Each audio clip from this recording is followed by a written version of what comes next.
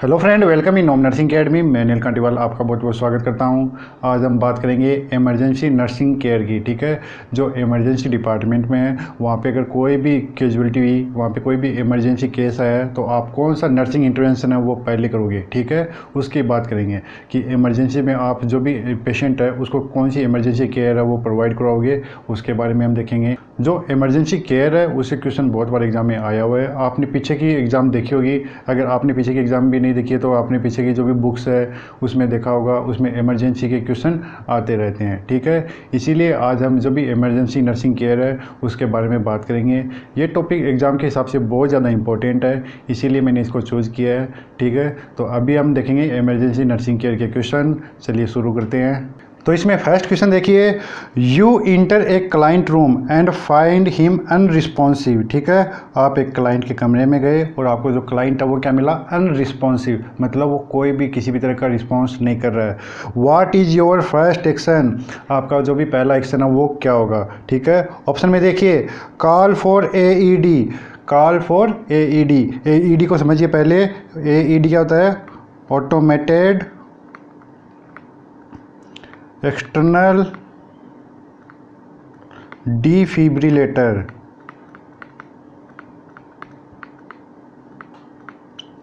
ठीक है? Automated external defibrillator ये क्या होता है? एईडी ये है फ़र्स्ट ऑप्शन सेकंड ऑप्शन में देखिए assess the client for respiratory and pulse status option third deliver four back blows to the client और ऑप्शन फोर देखिए finger probe for a possible obstruction तो आपको राइट आंसर बताना है, जो client है, वो क्या है? अनरिस्पॉन्सिव है। तो जब भी आपका फ़र्स्ट एक्शन है, वो क्या होगा? तो इस क्वेश्चन को देखिए, इसके ऑप्शन को समझिए और इसका आंसर वो जल्दी कमेंट कर दीजिए। तो जो इसका राइट आंसर होगा, वो होगा option second assess the client respiratory and pulse status ठीक है? ये इसका क्या है? राइट आंसर है। अगर कोई भी क्लाइंट है, वो अनरिस्पॉन्सिव है तो आपको क्या करना है? इसमें ऑप्शन के अकॉर्डिंग देखिए तो इसके लिए आपको पल्स चेक करनी है। उसका रेस्पायरेशन देखना है। ठीक है? कि वो रिस्पॉन्स कर रहा है कि नहीं कर रहा। ठीक है? रेस्पायरेशन स्टेटस है। वो आप विजिबल चेस्ट राइज से भी देख सकते हो। ठीक है? उसके बाद में अगर वो नहीं दिख रहा तो आप क्या कीजिए? पल्स है, उसको असेस कीजिए। ठीक है? तो यहाँ पे राइट आंसर क्या है? Assess the client respiratory and pulse status इसमें नेक्स्ट क्वेश्चन देखिए। On duty in the emergency department the nurse is concern when client continues to bleed from severe laceration ठीक है? Severe laceration even after applying direct pressure the next action is to. ठीक है? Question में समझिए, एक client है, उसको emergency department में लाया गया है। और वो क्या है? उसका सीवियर लेसरेशन से क्या हो रही है? ब्लीडिंग हो रही है। ब्लीडिंग है, वो कंटिन्यू हो रही है। मतलब उसका जो भी लेसरेशन है, उसका जो घाव है, उससे ब्लड है, वो क्या हो रहा है? रेगुलर बह रहा है, ठीक है? और even after applying direct pressure applying direct pressure मतलब जो घाव है, उस पर क्या है? डायरेक्ट प्रेशर भी कर दिया गया। है उसके बाद में भी क्या हो रहा है? ब्लीडिंग हो रही है। तो जो नेक्स्ट एक्शन है, वो क्या होगा? ऑप्शन में देखिए apply ice to lower the body temperature monitor closely for sign of shock elevated the upper extremities and apply blankets to raise body temperature or fourth maintain a patient airway and preventing vomiting तो इसका right answer क्या होगा client है, उसका क्या है? गाँव हुआ है, ठीक है? लेसरेशन हुआ है। वो लेसरेशन ऐसे गाँव होते हैं, जो गहरे गाँव होते हैं, जो भी मतलब किसी शार्प प्रोजेक्ट से गहरा गाँव हो गया, वो क्या है? लेसरेशन तो इसमें क्या है कि उस पेशेंट को क्या है कि जो भी क्लाइंट है, उसको वहाँ पे क्या है? प्रेशर भी अप्लाई कर दिया है उस जगह पे, लेकिन फिर भी ब्लीडिंग हो रही है तो नेक्स्ट एक्शन क्या होगा? तो राइट आंसर जल्दी कमेंट कर दीजिए।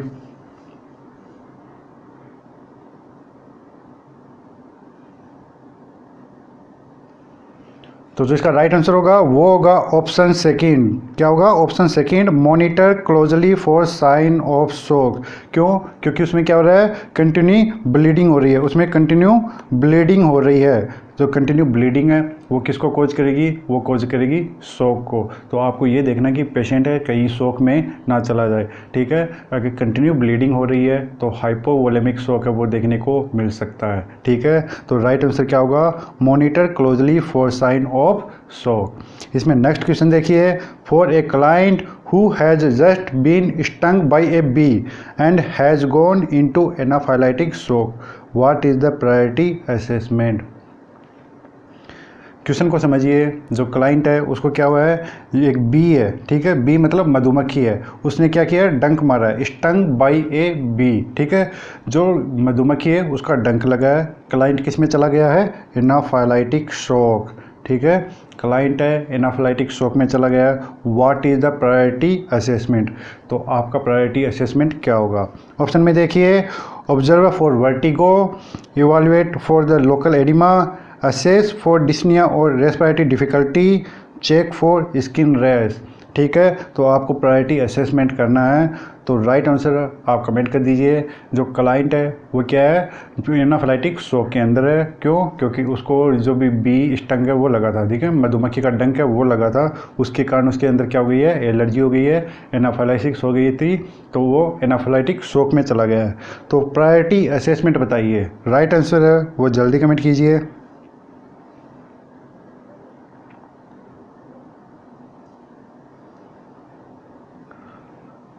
तो जो इसका राइट आंसर है, वो होगा ऑप्शन थर्ड ठीक है? ऑप्शन थर्ड है, वो क्या होगा? Right answer assess for dyspnea और रेस्पायरेटरी डिफ़िकल्टी ये इसका राइट आंसर है, ठीक है?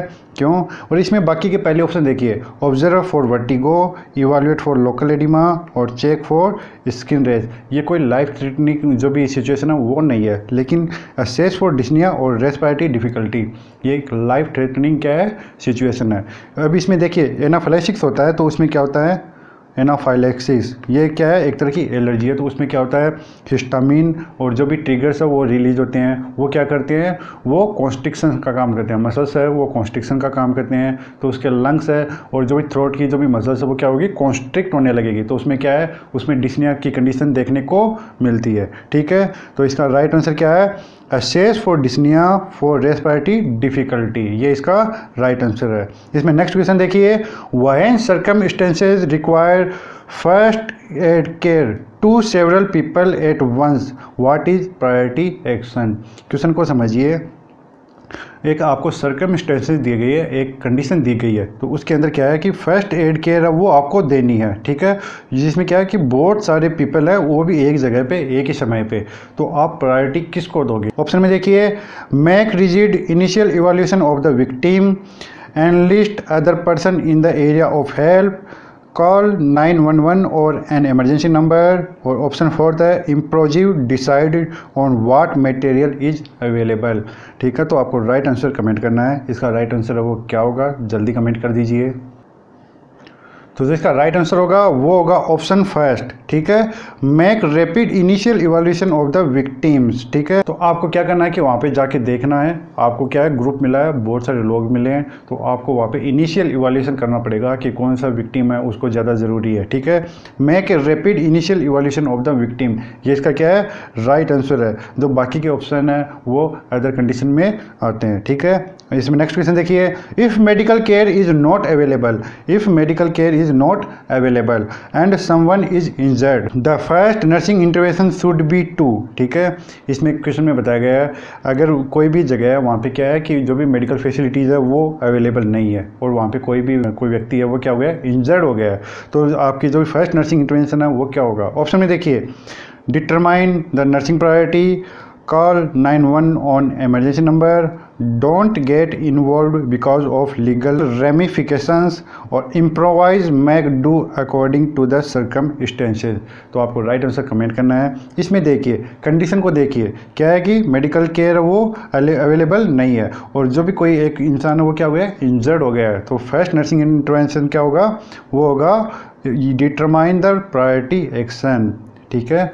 जो पेशेंट है उसको आपको ये देखना है कि वो इंजर्ड हो गया है तो उसको किस टाइप की इंजरी हुई है, ठीक है? और उसको कौन सी प्रायोरिटी चाहिए, ठीक है? अगर उसको घाव लग गया है, अगर उसको अचानक से चोट लगी है, ठीक है? इंजरी हुई है और उसका ब्लड निकला है तो आप क्या करोगे? प्रेशर करोगे। अगर उसको अगर कोई भी ये समझिए कि अगर कोई भी अकेला है, अगर उसको नोज़ ब्लीड हो रही है तो आप क्या करोगे? उसका जो नोज़ है वो पिंच करवा के उसको आगे की तरफ़ ये झुका के रखोगे, ठीक है?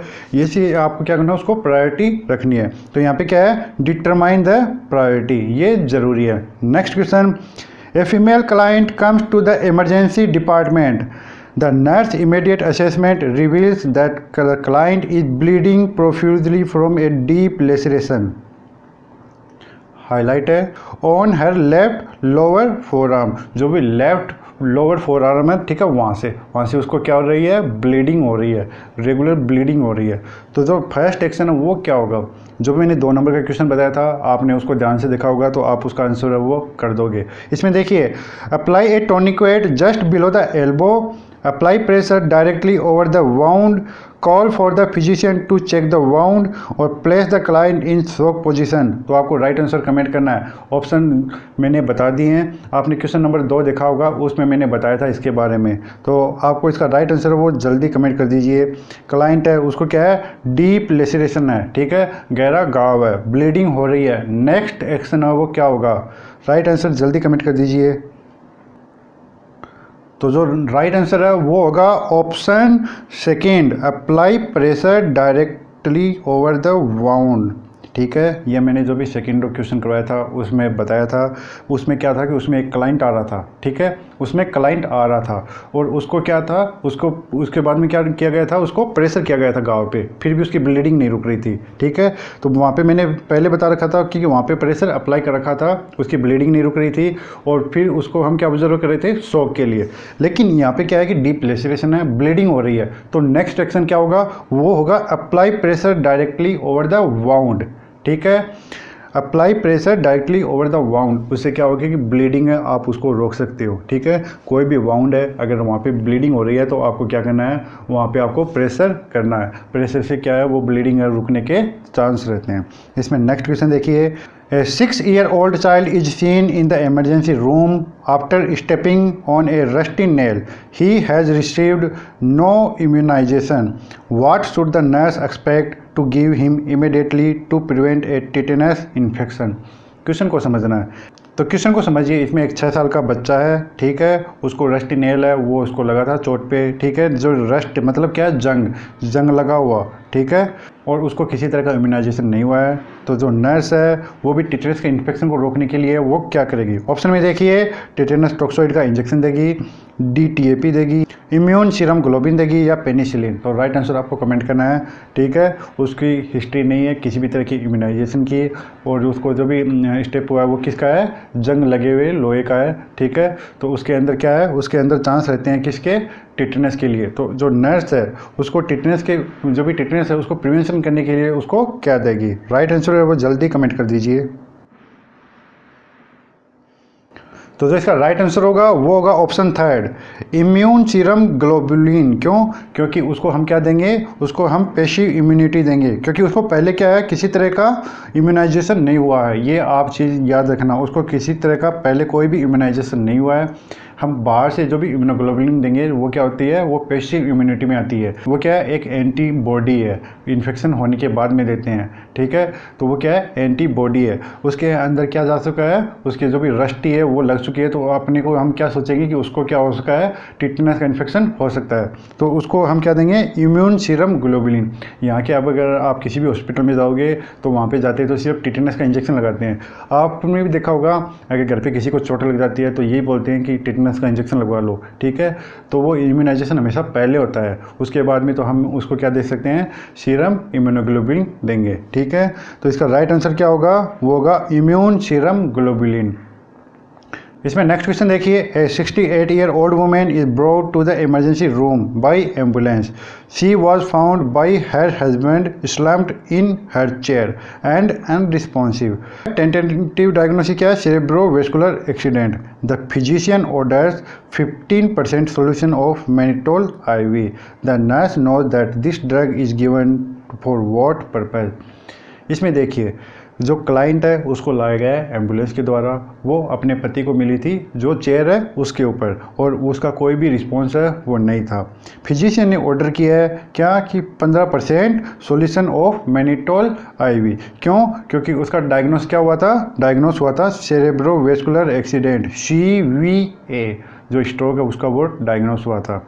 तो जो नर्स है, वो क्या समझेगी कि ये ड्रग है, उसको क्यों दी गई है? ऑप्शन में देखिए to increase urine output, to dissolve a clot, to reduce blood pressure और to decrease muscle spasm तो आपको right answer comment करना है उसको मैंने टोल है वो क्यों दी गई है right answer है वो जल्दी comment कर दीजिए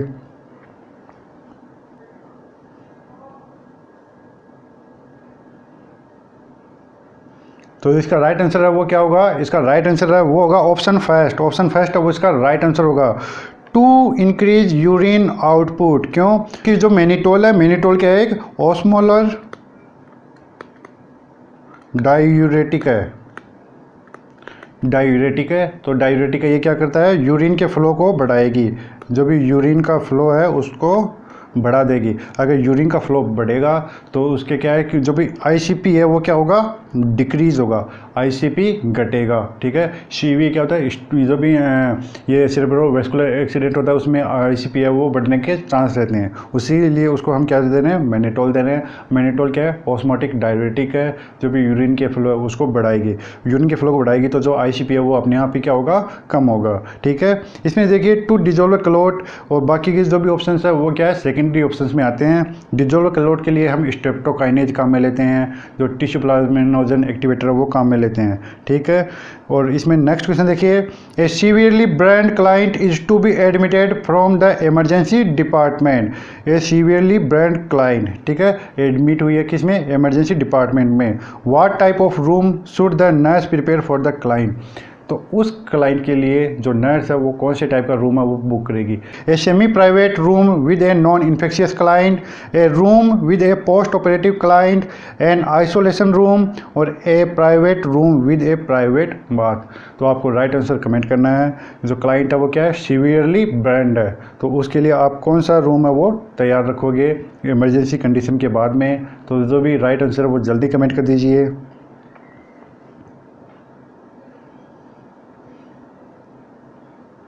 तो जो इसका राइट आंसर होगा, वो होगा option third an isolation room isolation room है, वो हम देंगे। क्योंकि जो भी सीवियर बर्न वाले पेशेंट होते हैं, उसके अंदर इन्फेक्शन होने के चांस है, वो ज़्यादा रहते हैं, ठीक है? सीवियरली बर्न पेशेंट है, उसमें इन्फेक्शन होने के लिए वो क्या होते हैं? सेंसिटिव होते हैं, उन पर इन्फेक्शन होने की ज़्यादा चांस रहते हैं। इसीलिए हम उसको क्या रखेंगे? आइसोलेट रखेंगे। अदर पेशेंट्स के साथ में नहीं रखना चाहिए इन्फेक्शन के चांस है, वो बढ़ जाते हैं। नेक्स्ट क्वेश्चन देखिए। An adult is admitted to the emergency room with a laceration on forearm and BP 140 by 74 pulse 110 and जो respiration है वो कितनी है 36 The client complains of tingling around the mouth and fingers and toes What should the nurse expect to do initially ठीक है? तो इसमें क्या है कि एक इमरजेंसी रूम में एक क्लाइंट को लाया गया है, उसको फोर आर्म पे क्या लगी है? चोट लगी है, गाव हुआ है। तो उसकी बीपी है वो कितनी है? बीपी है 140 फोर्टी बाई सेवेंटी और जो पल्स है वो कितना है? 110 और जो भी उसकी रेस्पायरेशन है वो कितनी है? 36 ठीक है? रेस्पायरेशन कितनी है? 36 है। वो कंप्लेन कर रही है किसकी टिंगलिंग अराउंड द माउथ जो भी माउथ है, उसके, जो भी साइड में क्या है, वहाँ पे क्या हो रहा है, उसको टिंगलिंग सेंसेशन हो रहा है, ठीक है? तो जो नर्स है, वो उसके लिए क्या करेगी? आपको राइट आंसर वो कमेंट करना है। Administer oxygen have the client breathe into a paper bag call the physician immediately और encourage the client to do deep breathing exercise तो आपको राइट आंसर कमेंट करना है। इसका राइट आंसर है वो क्या होगा? सिचुएशन को समझिए और उसके जो भी ये वाइटल है, उसको देख के आपको बताना है कि राइट आंसर है वो क्या होगा। तो इसका राइट आंसर होगा, वो होगा option second have the client breathe into a paper bag क्यों? क्योंकि जो क्लाइंट है, उसके जो भी वाइटल है, उसकी जो सिचुएशन है, वो किसको इंडिकेट इंडिकेट कर रही है? वो है हाइपर वेंटिलेशन हाइपर वेंटिलेशन को इंडिकेट कर रही है। तो हाइपर वेंटिलेशन कौन सी कंडीशन में देखने को मिलता है? रेस्पिरेटरी एल्कालोसिस ठीक है? तो इस कंडीशन में हम जो भी पेशेंट है, उसको क्या करते हैं? उसको जो भी ब्रीथिंग है, वो एक पेपर बैग में देते हैं, ठीक है? या तो उसको एक पेपर बैग ऐसे दे देते हैं, वो उसको एक पेपर बैग को ऐसे मुँह के लगा के उसी में सांस लेगा, उसमें सांस छोड़ेगा, उसी में सांस लेगा, ठीक है? तो इसका राइट आंसर क्या है? Have the client breathe in to a paper bag इसमें नेक्स्ट क्वेश्चन देखिए an adult who was struck by lightning in brought to the emergency department एक जो एडल्ट है, उसको क्या है? जो बिजली है, उसका शोक लगा है, झटका लगा है।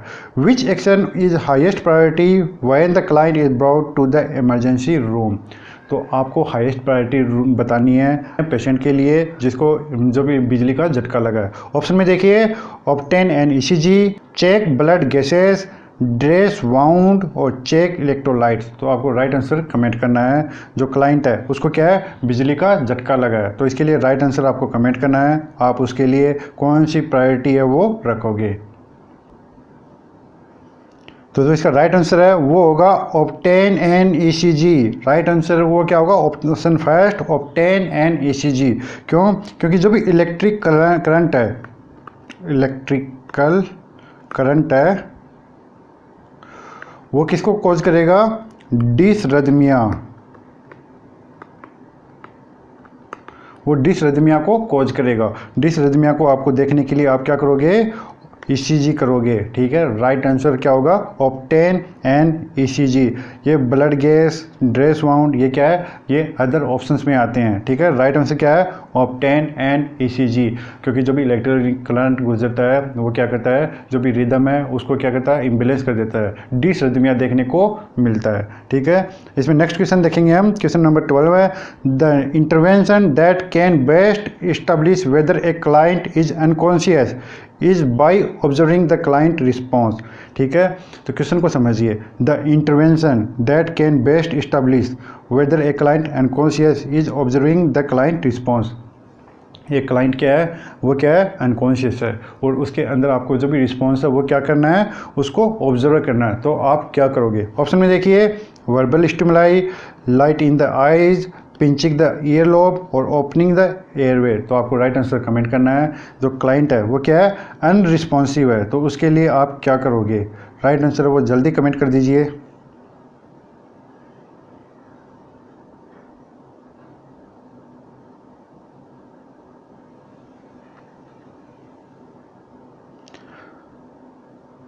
तो जो राइट आंसर है, वो होगा ऑप्शन फ़र्स्ट वर्बल स्टिमुलाई ठीक है? अगर कोई भी पेशेंट आपको दिख रहा है, अगर वो अनरिस्पॉन्सिव है तो आप सबसे पहले क्या करोगे? वर्बल स्टिमुलाई उसको दोगे। आप उससे बात करने की कोशिश करोगे। आप उसको आवाज़ दोगे, ठीक है? ये क्या है? वर्बल स्टिमुलाई ठीक है? ये क्या है? बेस्ट इंडिकेटर है। कोई भी अनकॉन्शियस पेशेंट है, उसका जो भी रिस्पॉन्स है, उसको चेक करने के लिए। जो बाकी के ऑप्शन है, वो बाद में आते हैं।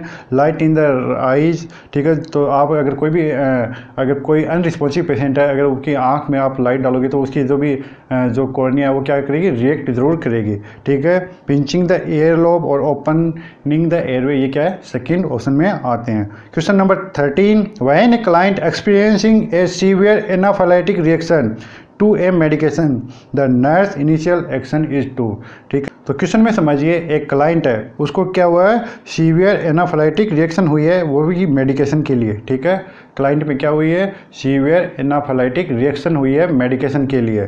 तो उसके लिए जो नर्स है, वो पहला एक्शन है, वो क्या करेगी? ऑप्शन में देखिए, start an IV assess vital sign, place the client in a supine position और prepare equipment for intubation. तो आपको राइट आंसर कमेंट करना है।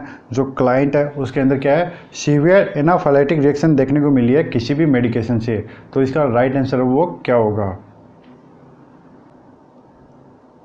तो जो इसका राइट आंसर है, वो होगा option third place the client in a supine position ठीक है? जो क्लाइंट है, आप उसको कौन सी पोजीशन में रखोगे सुपाइन पोजीशन एनाफाइटिक के बाद में अगर कोई भी क्लाइंट है, आप उसको सुपाइन पोजीशन में रखोगे। सुपाइन पोजीशन को हम शोक पोजीशन के नाम से भी जानते हैं, ठीक है? उसके बाद में आप क्या करोगे? उसके वाइटल साइन है वो असेस करोगे। सबसे पहले आपको पोजिशन देने हैं, उसके बाद में आप क्या है? जो भी वाइटल साइन है वो चेक करने हैं। उसके बाद में आप जो भी आई हुई है, वो स्टार्ट करोगे। और लास्ट में इंट्यूबेशन की ज़रूरत हुई, अगर उसको सांस लेने में दिक्कत हो रही है, ठीक है? अगर उसका रेस्पायरेशन और जो सेचुरेशन है, वो उसका डाउन जा रहा है तो आप क्या करोगे? इंट्यूबेशन करोगे, ठीक है? तो यहाँ पे आप प्रायोरिटी किसको दोगे? Place the client in a supine position next question देखिए the nurse assessing a client for shock observe that the earliest symptom of shock is ठीक है, एक नर्स है, वो एक क्लाइंट है, उसको शोक के लिए क्या कर रही है? ऑब्ज़र्व कर रही है। तो उसके लिए अर्लीस्ट सिम्टम क्या होगा? शोक का अर्लीस्ट सिम्टम आपको बताना है। इंपॉर्टेंट क्वेश्चन है एग्ज़ाम में तीन से चार बार आया हुआ है। शोक का अर्लीस्ट सिम्टम है वो क्या होगा? ठीक है ऑप्शन में देखिए hypertension increase urine output narrowing pulse pressure और वार्म मॉइस्ट स्किन तो आपको राइट आंसर वो कमेंट करना है। अर्लियर सिम्टम है सो का वो क्या होगा? तो जो इसका राइट आंसर है, वो होगा ऑप्शन थर्ड ऑप्शन थर्ड है, इसका क्या होगा? राइट आंसर होगा। नेरोइंग पल्स प्रेशर ठीक है? जो नेरो पल्स प्रेशर है प्लस में हाइपोटेंशन ये क्या है इसके अर्लीस्ट साइन है ठीक है? हाइपरटेंशन इसमें नहीं देखने को मिलेगी। नेक्स्ट क्वेश्चन देखिए। An unresponsive client with diabetic mellitus is admitted in emergency department with a serum glucose level of 35 पर D L which medication should a nurse plan to administer question को समझिए। एक क्लाइंट है। कौन सा client है? Diabetes mellitus वाला client है। ठीक है इमरजेंसी डिपार्टमेंट में लाया गया उसका सीरम ग्लूकोज लेवल है वो कितना है? वो है 35 फाइव एम जी हाइपोग्लाइसीमिया में है, ठीक है? तो उसके लिए जो नर्स है कौन सी जो भी मेडिकेशन है, वो प्लान करके रखेगी। ऑप्शन में देखिए एक्सेनाटाइड प्रेमिलिनीटाइड मिग्लिटोल और ग्लूकागोन। तो आपको राइट आंसर है वो कमेंट करना है। इनमें से कौन सी ड्रग्स है वो प्रिस्क्राइब की जाएगी? तो जो नर्स है, वो कौन सी जो भी ड्रग्स है, उसको माइंड में रखेगी। तो राइट आंसर है वो कमेंट कर दीजिए। तो जो इसका राइट आंसर है, वो होगा ऑप्शन फोर ग्लूकागोन, ठीक है? ये क्या है? राइट आंसर है। क्यों? क्योंकि जो क्लाइंट है, उसका क्या है? जो भी सीरम ग्लूकोज लेवल है, वो क्या है? 35 फाइव एम जी पर डी एल ठीक है? नॉर्मल कितना होता है? फास्टिंग कितना होता है नॉर्मल ठीक है? 70 to one ten M G पर डी एल ये क्या है? नॉर्मल है। अगर इससे कम होगा तो वो क्या, ये किसमें आएगा? हाइपोग्लाइसीमिया की कंडीशन में आता है। अगर 60 से नीचे जाता है तो। और यहाँ पे तो क्या है? यहाँ पे तो 35 फाइव है। तो क्लाइंट किसमें है? हाइपोग्लाइसीमिया में है। तो हाइपोग्लाइसीमिया को प्रिवेंट करने के लिए आप उसको क्या दोगे? ग्लूकागोन दोगे। ग्लूकागोन क्या है? ग्लूकोज कंटेंट है। ठीक है? तो राइट आंसर क्या होगा? ग्लूकागोन क्योंकि हमें उसका जो भी ग्लूकोज लेवल है उसको बढ़ाना है। यहाँ पे हाइपोग्लाइसीमिया की कंडीशन है, उसको ग्लूकागोन देंगे तो उसका ग्लूकोज लेवल है वो क्या होगा? बढ़ेगा। ठीक है? नेक्स्ट क्वेश्चन देखिए। Which injured client of a mass casualty disaster should a triage nurse in an emergency department establish as an the priority client एक मास कैजुअलिटी हुई है, ठीक है? उसमें कौन सा क्लाइंट है, वो इमरजेंसी डिपार्टमेंट पे सबसे पहले रखा जाएगा प्रायोरिटी पे। ऑप्शन में देखिए an an responsive client with a penetrating head injury a partial responsive client with a sucking chest wound a client with a maxilla fracture and facial wound without airway compromise a client with a third degree burn over 65 degree of body surface area तो कौन सी जो भी client है, उसको आप highest priority पर रखोगे तो राइट आंसर वो कमेंट कर दीजिए। क्वेश्चन को आपको एक बार समझना है। मास कैजुअलिटी हुई है। मास मतलब होता है बड़ी तादाद में, ठीक है? बड़ी तादाद में क्या हुआ है? कैजुअलिटी हुई है। कोई डिजास्टर हुई है, ठीक है? तो उसमें जो नर्स है, जो ट्राइज नर्स है, वो इमरजेंसी कंडीशन में किसको प्रायोरिटी देगी? तो ऑप्शन में, यहाँ पे ऑप्शन मैंने बता दिए हैं। आपको राइट आंसर कमेंट करना है। इसका राइट आंसर वो क्या होगा? इसका राइट आंसर होगा, वो होगा option second a partially responsive client with a sucking chest wound ठीक है? क्यों? क्योंकि जो क्लाइंट है, उसके अंदर क्या रखा है? उसको लाइफ थ्रेटनिक सिचुएशन में है, लेकिन हम उसको बचा सकते हैं। इसमें देखिए, ऊपर वाला ये जो ऑप्शन है, इसमें क्या है? उसको पेनेट्रेटिंग हेड इंजरी है। बचने के बहुत कम चांस है, क्योंकि वो पहले से क्या है? अनरिस्पॉन्सिव है। लेकिन अगर एक सकिंग चेस्ट वाउंड वाला पेशेंट है ठीक है? रिस्पॉन्सिव है। सबसे बड़ी बात क्या है? रिस्पॉन्सिव है। लेकिन वो लाइफ थ्रेटनिक सिचुएशन में है तो आप उसको पहले बचाने की कोशिश करोगे। ठीक है? ये मैगजिला फ्रैक्चर ज़्यादा इंपॉर्टेंट नहीं है। एक client with third degree burn बेसे जल गया है। तो आपको सबसे पहले किसको बचाना है? वो है a partial responsive client with a sucking chest wound ये इसका राइट right आंसर है। नेक्स्ट क्वेश्चन देखिए।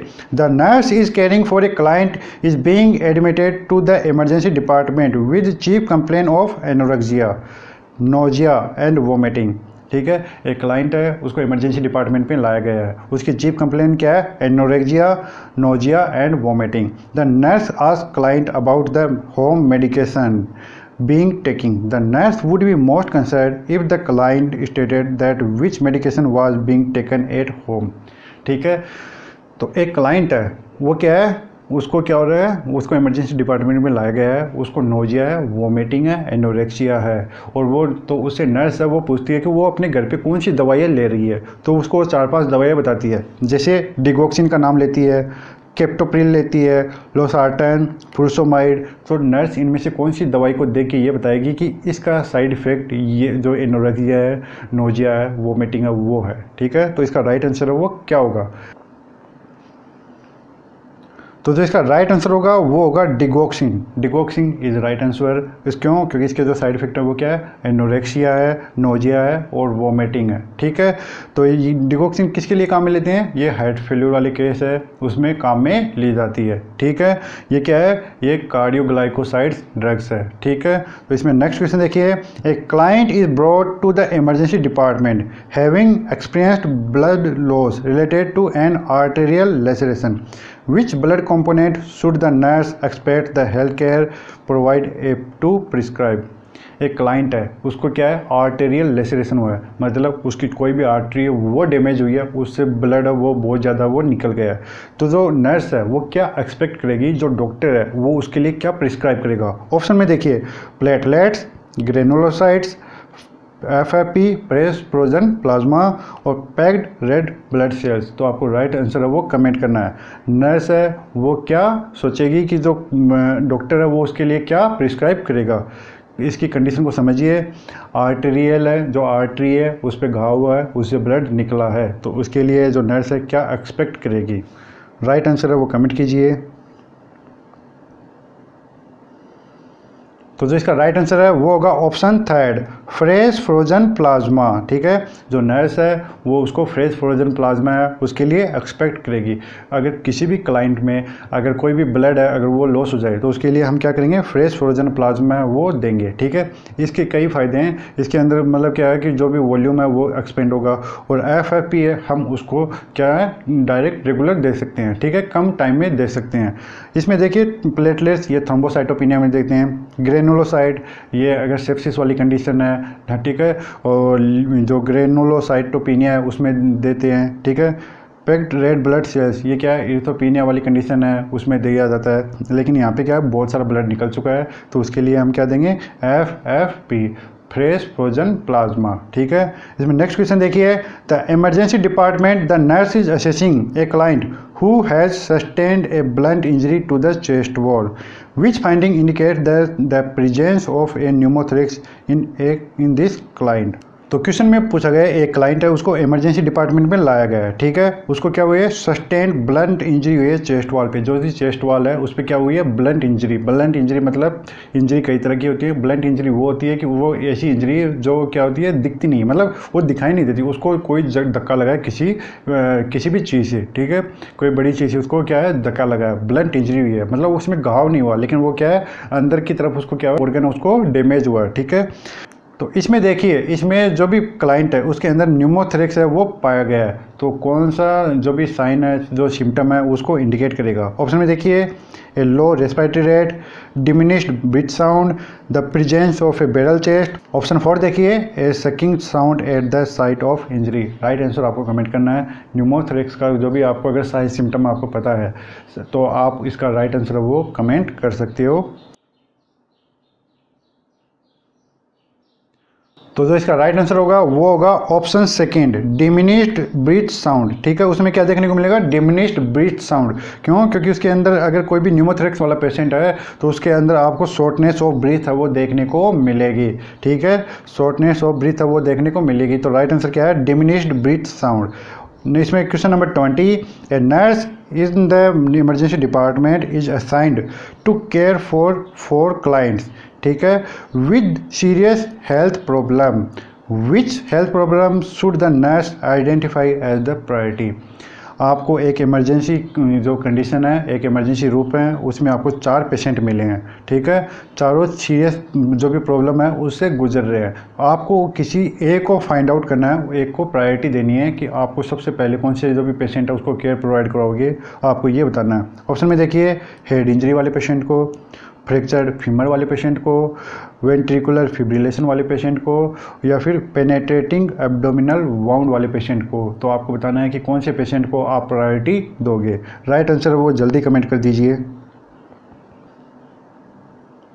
तो जो इसका राइट आंसर है, वो क्या होगा? राइट आंसर होगा, वो होगा option third ventricular fibrillation ventricular fibrillation ठीक है? क्यों? इसको हम प्रायोरिटी क्यों देंगे? अगर कोई भी पेशेंट है, उसको वेंटिकुलर फिब्रिलेशन है तो मतलब उसमें क्या है? डिसरदमिया है।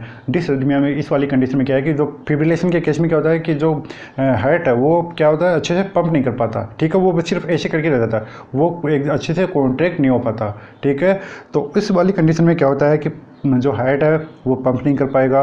पंप नहीं कर पाएगा तो जो ब्लड सप्लाई है, वो जो भी वाइटल ऑर्गन है, उन तक नहीं जाएगी। वाइटल ऑर्गन जैसे ब्रेन है ब्रेन तक ब्लड सप्लाई नहीं गई तो उसके अंदर क्या हो सकता है? पाँच से छः मिनट में बाद में तो वहाँ पे इवर्सिबल जो भी ब्रेन डेथ है, वो क्या हो देखने को मिल सकता ठीक है? तो इसीलिए प्रायोरिटी किसको दोगे? वेंट्रिकुलर फिब्रिलेशन वाले पेशेंट को आप क्या दोगे? प्रायोरिटी दोगे। ठीक है? राइट आंसर इसका क्या है? वेंट्रिकुलर फिब्रिलेशन अब हम देखेंगे इस वीडियो का last question the first maneuver for the nurse to use when checking for airway obstruction in spinal injury case. तो क्वेश्चन में बताया गया है, एक स्पाइनल इंजरी वाला केस है, उसके अंदर आपको एयरवे ऑब्स्ट्रक्शन है, वो क्या करना है? चेक करना है। तो उसके लिए कौन सा मेथड है, वो काम में लोगे। ऑप्शन में देखिए tilt the head and lift the chin attempt to the ventilate turn the client to the side और डू ए जॉस्ट थ्रस्ट तो राइट आंसर आपको कमेंट करना है। इसका राइट आंसर है वो, आप कमेंट कीजिए, ठीक है? और आपको ये भी बताना है कि आपके कितने आंसर है वो सही हुए हैं। आपके कितने आंसर सही हुए हैं वो आपको बताना है। कितने आंसर है वो सही हुए हैं, कितने आपके आंसर है वो रॉन्ग हुए आपको ये टोटल एक करके बताना है। ये जितने भी क्वेश्चन मैंने लिए हैं, बीस से इक्कीस क्वेश्चन लिए हैं, ये एग्ज़ाम में रिपीट हुए हैं, बहुत ज़्यादा इंपॉर्टेंट है। आगे इनके हमेशा आने की संभावना वो बनी रहेगी। एम्स है ई एस आई सी है पी जी आई है, ऐसी वाली एग्ज़ाम में ये क्वेश्चन बार बार पूछे जाते हैं, ठीक है? नोट सेट में ऐसे क्वेश्चन तो बहुत बार आपको देखने को आगे मिलेंगे, क्योंकि नोट सेट का जो लेवल है वो इसी तरीके का होता है। उसमें आपको प्रायोरिटी इमरजेंसी जो भी आपको थोड़े टफ लेवल के क्वेश्चन मिलेंगे, वो आपको नोट सेट में आपको देखने को मिल जाएँगे। तो इमरजेंसी वाले क्वेश्चन प्रायोरिटी बेस वाले क्वेश्चन है, ये आपके लिए बहुत ज़्यादा इंपॉर्टेंट रहेंगे। प्रायोरिटी बेस का मैंने पहले वीडियो बना रखा है, आप वो जाके ज़रूर देखना। उसमें जो जितने भी प्रायोरिटी बेस वाले क्वेश्चन है, मैंने उनको रखा है। ठीक है? तो वो आपके लिए वीडियो बहुत ज़्यादा इंपॉर्टेंट रहेगा। अगर आप नॉर्थ सेट की एग्ज़ाम दे रहे हो ई एस आई सी की एग्ज़ाम दे रहे हो P G I G M C H अगर कोई भी नर्सिंग ऑफिसर की एग्ज़ाम दे रहे हो तो उसके लिए आपको वो वीडियो देखना ज़रूरी है। ठीक है? और इसी के साथ में हमारी जो एप्लीकेशन है, उस पर भी आपको कोर्स है, वो देखने को मिल जाएगा। जल्दी हम उस पर नर्सिंग ऑफिसर का कोर्स है, वो लेके आ जाएँगे। नोट सेट के लिए उसमें हम टेस्ट सीरीज़ है, वो चलाएँगे, ठीक है? अभी तो उस पर सी का कोर्स है, वो अवेलेबल है। उसमें आपको पीडीएफ है टेस्ट सीरीज़ है, वो देखने को मिल जाएगी, ठीक है? तो ये था इमरजेंसी नर्सिंग केयर के बारे में। आई होप आपको ये वीडियो पसंद आया होगा। अगर आपको ये वीडियो पसंद आए तो इसे लाइक करें कमेंट करें शेयर करें। अगर आपको इसी तरह की और वीडियो चाहिए तो हमारे चैनल को ज़रूर सब्सक्राइब कर लीजिए। ठीक है? और एक बार आपको सभी का बहुत बहुत धन्यवाद इतना सपोर्ट दिखाने के लिए। बस आपसे एक ही रिक्वेस्ट है, अगर आपको वीडियो पसंद आए तो इसे शेयर ज़रूर कीजिए। ठीक है? अपने दोस्तों के साथ में शेयर कीजिए। आपके जो भी व्हाट्सएप ग्रुप है नर्सिंग के, उसमें शेयर कीजिए। Thank you